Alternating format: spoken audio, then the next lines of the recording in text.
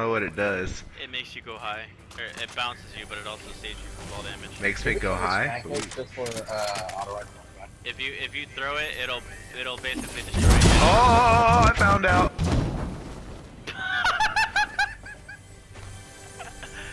Ah, dude, I just witnessed you bounce off the ceiling 14 different times. I don't, bro. I witnessed that shit. You didn't even fucking let me finish my sentence. If you throw it, poof. Oh, there's people, people here, people here.